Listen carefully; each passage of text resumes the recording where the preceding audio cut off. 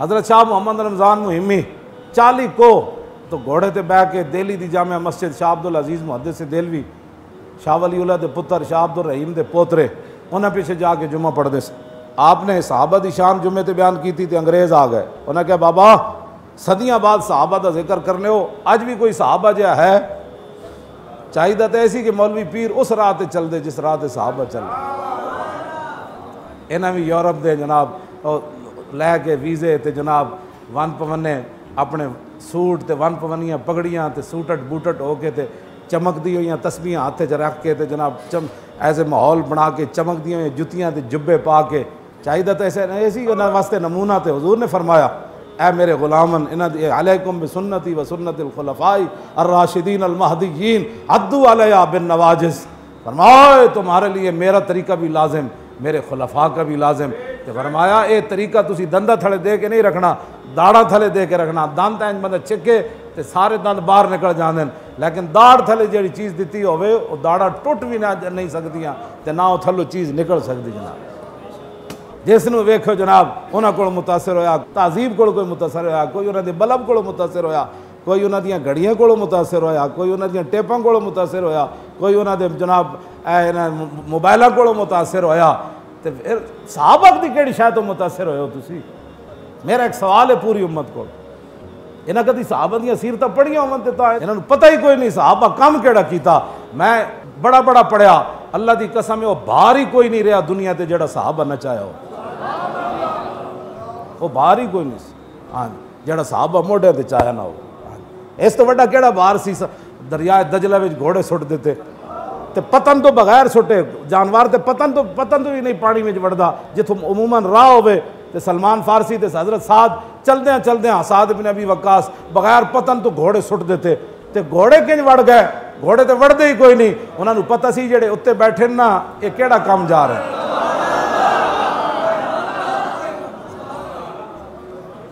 गल् कर रहे हो तुम जिन्हों दल् करनिया सन तुम भुल गई फिर यूरोप के, फिर यूरोप के मुआशरे की मिसाल देते हो। यहाँ बनाओ ना मुआशरा, हम आपके साथ खड़े हैं। बनाओ। मैं उस दिन घर गया, मैंने रस्ते भुख लगी। तो होटल तो मोटरवे तो बड़े बड़े। मैं कलर कार तो पहले ना चढ़न तो एक एक होटल जो है। मैं मुंडे क्या भाई रोटी लियाओ एक रोटी लियाओ तो सुखी खानी, सुखी रोटी मैं खा के घर पहुँचा आओ ना साढ़े बैठ के गल करो, मुल्क किमें बचाना। तो घर जाके रोटी खानी हो तो फ़ोन कर देता भी असं आ रहे रोटी पका के रखना याशियाँ वास्ते तो असी भी होटल वड़ सकते ए भी लियाओ तो ए भी दो प्लेटा लियाओ तो पाँच प्लेटा ए भी लियाओ तो दस प्लेटा।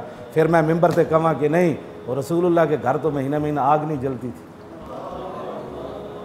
साहबा तो गजवा खैबर दे फतह तक रज के खजूर में तकरीर मैं ये करा तो मोटरवे के होटलों में बह के जनाब पंजी हज़ार का बिल बना के रोटी खावा, फिर हजूर के उस वह हसन पर तकरीर मौलाना कर रहे फिर नाथ खान भी जनाब पढ़ रहा सज गई गलियाँ बाज़ार नहीं, गलियाँ बाज़ार तो सजियाँ नहीं, सारे कायनात ही सजी, दोवें जहान भी सजे। तवज्जो, तेरे उत्ते केड़ा असर होया? तू अपनी गल कर। तू क्यों ना सजया हजूर दे उस वह हसन हाँ? ना तेरा लिबास रसूलुल्लाह दे उस वह हसन के मुताबिक ना तेरी गुफ्तगु, ना तेरा कोई बदन, ना तेरी चाल, ना कोई ढाल। गलियाँ बाज़ार ते सज गए हजूर आए तो सारी कायनात ही सज गई। लेकिन तू ना सजो ये सिर्फ़ लोगों सुना वास्ते गल् आओ असी तो दसीए सुक्की रोटी खा के सुक्की रोटी मैं खाधी अपने अपनी आदत है नवे गल् लोग कर रहे हैं मुल्क ऐसे नहीं बन सकता कि जनाब वज़ीर भी अयाशियाँ करे मुशीर भी अयाशियाँ करे बेरो करे सी उत्तों लैके थले तक जब तक किसी दफ्तर चले जाओ फ़ाइल न पहिए ना लाओ पहिए का मतलब पैसा ना दो तो फ़ाइल अगले दफ्तर दूसरे कमरे च नहीं जाती इस तरह मुल्क चलना है मुल्क चलाना चाहते हो तो फिर हज़रत उमर की सीरत पढ़ो हाँ सिद्दीक अकबर ने दो साल केड़े केड़े हालात बन गए? अब्दुल्ला बिन मसूद फरमाने अल्लाह की कसम है जो रसूलुल्लाह जारी दुनिया तशरीफ़ लै गया जो सिद्दीक ना होंगे तो किसी ने बचना ही कोई नहीं। गल् करते जो बैठ के चार बंद, हर बंदा उठ के बग बग करता तो मैं जब पुछो, सहाबा दियाँ सीरत सूरत, क्यों जी? समुद्र में जाए में जा घोड़े पाए, अगर रूमी वेखण कहते तो मजानी आ गए ये तो जल्ले आ गए ये तो पागल आ गए। सानू लबैक लोग कहते ने पागल हैं असं अल्लाह का शुक्र अदा करने सदिया बाद सू पागल तो क्या ना करना। तवजो तवजो याशिया पैसे मुकते हैं टुकर खाने पैसे नहीं मुकते पक्की गल। रब टुकर हर बंदे देंदा। याशिया के पैसे नहीं देंदा।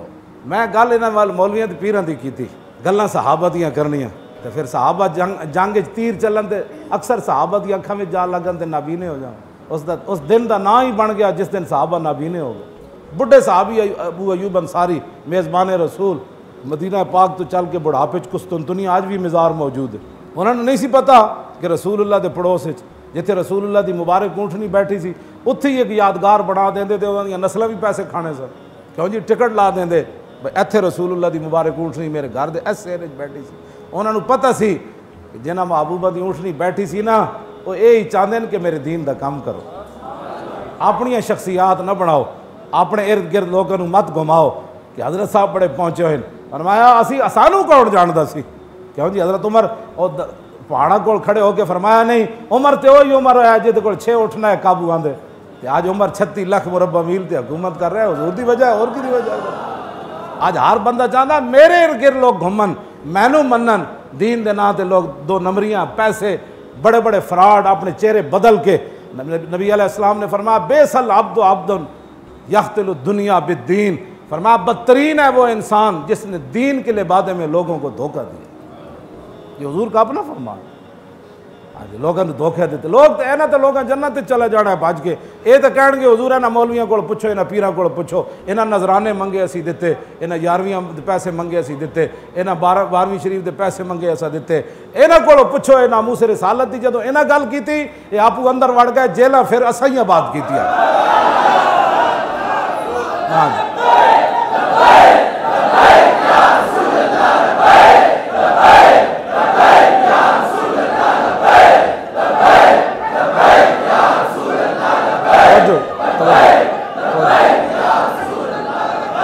तवजो तवजो जेड़े उलमा हकन ते जेड़े मशाइख रसूलुल्लाह ने उन्होंने वो तो मुस्तसना वन मतलब तुम समझो मैं सारे के खिलाफ कर लगा।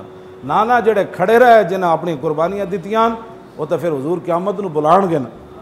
हाँ भाई, तेरे तेरे खिलाफ परचा क्यों कटा गया? हजूर लबैक का नारा लाया फिर मौजूद फरमान गया इतने खड़ा हो जाओ तुम और कट कट्टे बुलाओ जरा